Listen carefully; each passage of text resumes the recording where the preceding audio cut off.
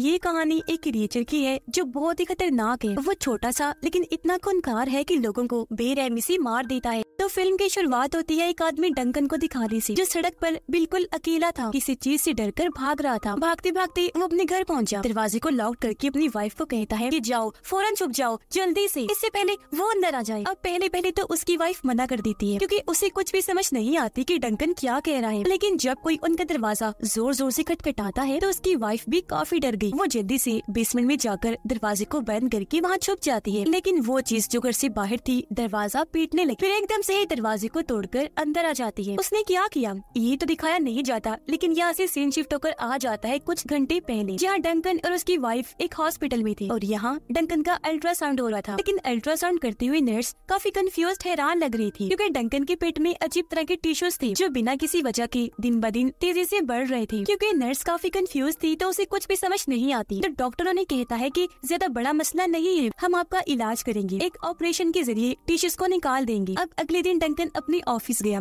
पता चला कि वो एक अकाउंटेंट की जॉब करता है। लेकिन अब उसका बॉस उसे इस जॉब से हटाकर ह्यूमन रिसोर्सेज की सीट पर लगा देता है, जिसमें उसकी जॉब कंपनी में नए वर्कर्स को रखने और जो पहले से वर्कर्स काम कर रहे हैं, उन्हें निकालने की और अब इस बारे में सोचकर डंकन काफ़ी परेशान रह जाता है, क्योंकि उसे समझ नहीं आ रही थी कि मैं इस जॉब को कैसे लेकर चलूँगा। साथ ही यहाँ उसकी मुलाकात एक आदमी से हुई, जो उसका नया कोलीग था और अब से डंकन के साथ काम करने वाला था। डंकन जब घर आया तो उसकी मोम नोटिस कर लेती है कि वो काफ़ी परेशान स्ट्रेस में है। इसीलिए वो उसका स्ट्रेस दूर करने के लिए एक डॉक्टर को बुलाती है। लेकिन डॉक्टर से बजाय उसका स्ट्रेस ठीक होने के डंकन और भी काफ़ी परेशान हो जाता है, क्योंकि डॉक्टर ने उससे उल्टे सीधे सवाल किए थे। कुछ देर के बाद डंकन के पास उसकी कोलीग की कॉल आई। वो कहता है डंकन मुझे तुम्हारे कंप्यूटर की ज़रूरत थी, जो मैं इस्तेमाल कर रहा था। लेकिन गलती से तुम्हारी बहुत ही ज़रूरी फ़ाइल मुझसे डिलीट हो गई है। ये सुनकर डंकन काफ़ी परेशान हो गया। उसे गुस्सा भी आ रहा था, क्योंकि वो फ़ाइल डंकन पिछले एक साल से बना रहा था। अब जब वो बाथरूम में गया तो उसे पता नहीं क्यों, बहुत ज़्यादा दर्द होने लगती है। इस वजह से वो चिल्लाया। आवाज़ सुनकर उसकी वाइफ बाथरूम के बाहर आई। पूछती है, क्या हुआ डंकन सब ठीक तो है? उसने जवाब दिया कि हाँ मैं ठीक हूँ, और तुम जाओ, जाके आराम कर। उसकी वाइफ ने ऐसे ही किया। वो कानों में ब्लूटूथ लगाकर और अपनी दवाई लेकर सो जाती है। इसीलिए वो डंकन की कोई आवाज़ नहीं सुन पाती, जो इस दौरान बहुत ज़्यादा ही चिल्लाने लगता है। अचानक वो गिर गया,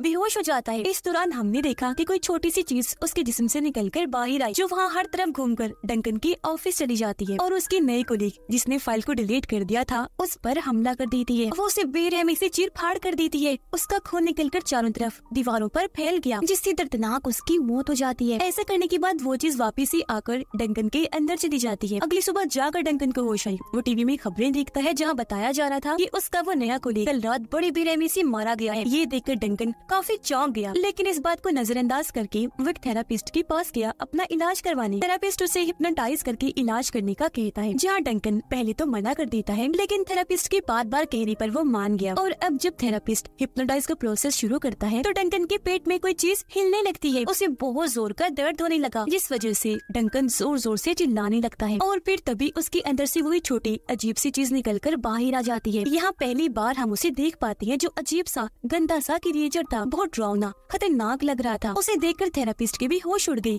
काफ़ी चौंक जाता है। उसे लग रहा था कि ये मुझे कोई नुकसान पहुँचा देगा। इसीलिए एक डंडा लेकर क्रिएचर पर हमला करने की कोशिश करता है। लेकिन वो खूनखार क्रिएचर अपना ड्रावना सा मुँह खोलकर थेरापिस्ट पर धाड़ने लगा। और यहाँ हम उसके खतरनाक दांतों को भी देख पाते हैं, जिनसे वो थेरापिस्ट की टांग पर ही काट लेता है। वो दर्द की वजह से चिल्लाने लगा, लेकिन जैसी तैसी क्रिएचर को धकेल कर पीछे कर देता है, उसकी चीख की आवाज़ सुनकर डंकन को भी होश आ गई, जो दर्द की वजह से बेहोश हो गया था। और अब वो जैसे क्रिएचर को देखता है, एक बार फिर जोरों से चिल्लाने लगा। और इस चीज़ का फ़ायदा उठाकर क्रिएचर खिड़की तोड़कर वहाँ से बाहर भाग जाता है। अब डंकन काफ़ी कंफ्यूज था, उसके जहन में कई सारे सवाल थे, जिनका जवाब वो थेरापिस्ट से माँगता है। जब थेरापिस्ट एक किताब निकालकर डंकन को दिखाता और बताता है कि ये जो चीज़ तुमने देखी, एक तरह का क्रिएचर है, जो पहले इंसान के अंदर रहता है, लेकिन अगर कोई दूसरा इंसान उस इंसान को स्ट्रेस या परेशानी दे तो ये क्रिएचर बाहर निकलकर स्ट्रेस परेशानी देने वाले इंसान को बेरहमी ऐसी मार देता है। उसने ये भी बताया की अब वो क्रिएचर तुम्हारे पास ज़रूर आएगा। तब तुम उससे बात करके उसे शांत करना। इस दौरान तुम्हारे और उसके बीच काफ़ी अच्छा बॉन्ड बन सकता है। यानी तुम दोनों एक दूसरे से दोस्ती कर सकते हो।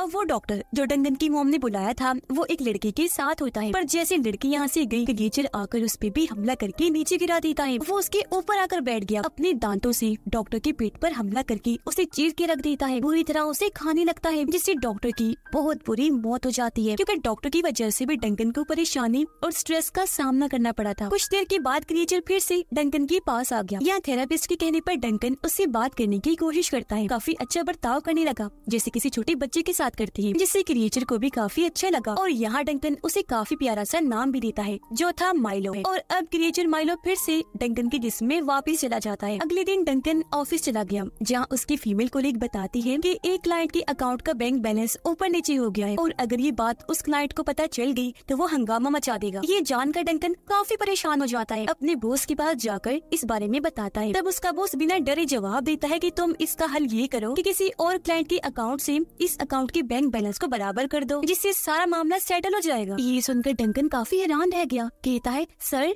ये आप क्या कह रहे हैं? मैं ऐसा कैसे करूँ? ये काम तो बिल्कुल गैर कानूनी ही। उसका बोस कहता है कि तुम बस ऐसा कर दो और ज़्यादा मत सोचो। हम सब कुछ हैंडल कर लेंगे। कुछ देर बाद डंकन की नज़र टीवी पर गई, जहाँ खबरें देखकर उसकी आँखें खुली की खुली रह गई, क्योंकि बताया जा रहा था कि डॉक्टर को भी किसी जानवर ने बड़ी बेरहमी से मार दिया है। उस जानवर को रकून कहा जा रहा था, लेकिन ये बात डंकन जानता था की ये काम रकून का नहीं, बल्कि माइलो का है, जो ही लोगों को इस तरह बेरहमी ऐसी मार रहा है। इस बात ऐसी डंकन को काफ़ी परेशानी हुई। वो थेरापिस्ट के पास जाकर उसे सारी बात बता देता है। थेरापिस्ट उससे पूछता है कि तुम्हारे डैड कहाँ हैं? तुम उनसे बात करो। हो सकता है उनसे तुम्हें इस मसले का कोई हल मिल जाए। अब डंकन उनके घर पहुँचा। उनसे बात करने की कोशिश करने लगता है। पर वो डंकन से कोई बात नहीं करना चाहते थे। कहते हैं कि चले जाओ यहाँ से। मुझे किसी से कोई बात नहीं करनी। मैं अकेला रहना चाहता हूँ। इस बात को लेकर डंकन की परेशानी और बढ़ जाती है। इसलिए जब वो वॉशरूम में गया तो माइलो फिर से उसके अंदर से बाहर आ जाता है, जो इस वक्त बहुत गुस्से में था। डंकन के डैड ने क्योंकि उसे बहुत स्ट्रेस दिया था, इसीलिए वो उनकी जान लेना चाहता था। जिस पर डंकन कहता है कि नहीं, उन्हें प्लीज़ मत मारना। वो मेरे डैड है। अगर तुम चाहो तो वापस मेरे जिस्म में चले जाओ। पर माइलो नहीं सुनता। वो उन्हें मारने जाता है। लेकिन टंकन जैसी तैसी उसे रोक कर कहता है कि, शांत हो जाओ। मैं वादा करता हूँ कि ऑफ़िस पहुँच कर तुम्हें खाना ज़रूर खिलाऊँगा। जानता हूँ तुम्हें भूख लगी हो। अगले दिन टंकन जब ऑफ़िस गया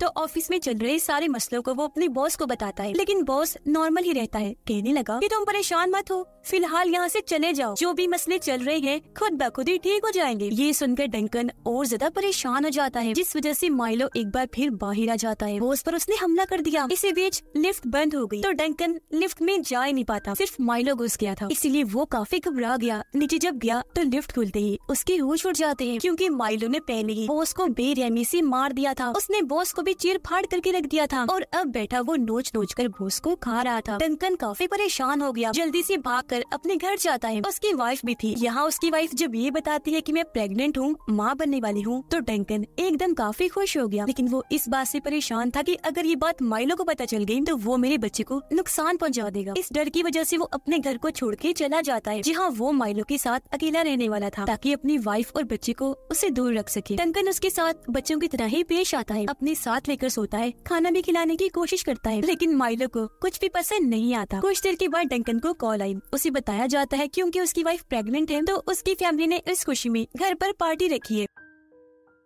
अब डंकन अपने डैड को कॉल करके कहता है कि डैड मैं बहुत परेशान हूँ। मुझे आपकी मदद चाहिए। वो उन्हें उसी थेरेपिस्ट के पास मिलने के लिए बुलाता है। यहाँ जब डंकन ने अपने डैड से कुछ सवाल पूछे तो वो कहते हैं कि, मैंने तुमसे सिर्फ़ इतना कहा था कि मैं तुमसे मिलने आऊँगा। मैंने ये नहीं कहा था कि मैं तुम्हारे सवालों के जवाब दूँगा। पर क्योंकि डंकन उसके साथ हो रहे मसलों की वजह से काफ़ी परेशान हो गया था, इसीलिए अपने डैड को उसकी क्रिएचर माइलो के बारे में बता देता है। और ये भी कि उसकी वजह से मुझे बहुत सारी मुश्किल का सामना करना पड़ रहा है। अब आप मुझे इस चीज़ का हल बताई लेकिन उसकी डैड कुछ नहीं बताते। पर अब अचानक ही दोनों बाप बेटी नीचे गिर जाते हैं। दोनों को ही काफ़ी दर्द हो रही थी। और अब देखते ही देखते दोनों के अंदर से ही वही क्रिएचर्स बाहर निकल कर आते हैं। पर डंकन के डैड का क्रिएचर कमज़ोर था। वो बेचारा भागने लगता है। तब मौका देकर डंकन का क्रिएचर माइलो डैड के क्रिएचर को पकड़ के बुरी तरह उस पर हमला कर देता है। वो चाकू से बार बार उस पर वार करने लगा, जिससे डैड का क्रिएचर काफ़ी जख्मी हो गया। और इस चीज़ का असर डंकन के डैड को भी होने लगता है। यानी की वो भी काफ़ी तकलीफ़ महसूस कर रहे थे। अब उधर माइलो जब दूसरे क्रिएचर को मार रहा था तो उसके डैड डंकन को कहते हैं कि तुम्हारी वाइफ माँ बनने वाली है ना? डंकन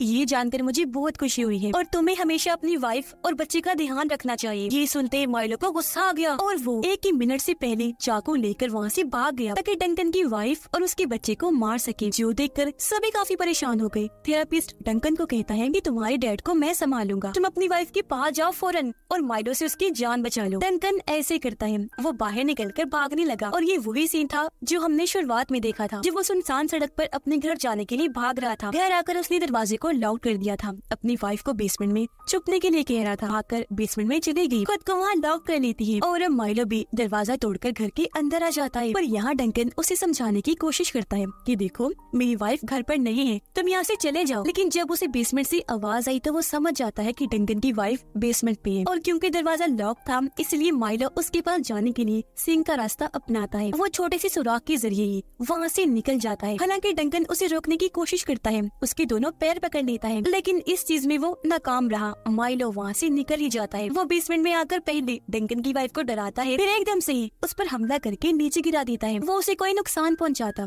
इससे पहले ही डंकन की वाइफ उसे पकड़ लेती है। लेकिन वो फिर भी उसे काबू कर लेता है। पर उसके बच्चे को नुकसान पहुँचाने ऐसी पहले ही दरवाज़ा तोड़कर डंकन अंदर आ जाता है। पेट पर माइलो वार करने ही लगा था कि तभी डंकन एकदम से आकर उस पर झपट पड़ा, तोड़ कर देता है और अपनी वाइफ को वहाँ से भगा देता है। लेकिन माइलो, जो इतना खतरनाक था कि डंकन को भी अपने नाखूनों से जख्मी कर देता है और उसकी वाइफ का पीछे करते हुए बाहर आ जाता है, जहाँ बहुत सारे लोग हालाँकि उसे आग से डराने की कोशिश भी करते हैं, लेकिन वो डरता ही नहीं। उल्टा उन्हें डराने लगता है, जिस वजह से सारे लोग काफ़ी घबरा गए। तभी डंकन भी बाहर निकल आया, क्योंकि उसे माइलो पर काफ़ी गुस्सा था, इसीलिए वो कुल्हाड़ी से माइलो पर हमला कर देता है। उसकी एक बाजू ही काट कर अलग कर देता है, पर इस चीज़ का असर डंकन को भी हो रहा था। लेकिन माइलो क्योंकि सबके लिए नुकसान नुकसानदेह था, इसीलिए डंकन फिर भी उस पर वार करता है, जिससे उसकी हालत मरने वाली हो गई। और अब डंकन उसकी आखिरी पलों में माइलो को गोद में उठा लेता है। यह दोनों ही काफ़ी जज्बाती हो गई और पहली बार माइलो उसे डैड कहता है, जिसके बाद वो मर गया। टंकन को दुख हुआ, वो अपनी वाइफ की गले से लगकर रोने लगता है। उसे इस बात की भी खुशी थी कि अब सब ठीक हो जाएगा और मेरे बच्चे को कुछ भी नहीं होगा। इसीलिए अगले ही दिन से वो अपनी वाइफ और आने वाले बच्चे का ख्याल रखने लगता है। वो काफ़ी खुश था। टंकन इस बात से भी रिलैक्स और खुश था कि मैंने अपनी अलग कंपनी खोली है जो बहुत अच्छी चल रही थी, जिसके बाद हम वो डरा देने वाली चीज़ देखते हैं। उसकी वाइफ के पेट में जो बच्चा पल रहा था, उसके पेट में बिल्कुल ऐसा ही एक इरेजर था। यानी कि अब ये सिलसिला नसर दल नसर आगे चलता रहेगा। पहले डंकन के डैड ने इसका सामना किया, फिर डंकन ने और अब उसके बेटे को भी करना पड़ेगा। इस फ़िल्म की कहानी भी यही आरोप खत्म हो जाती है।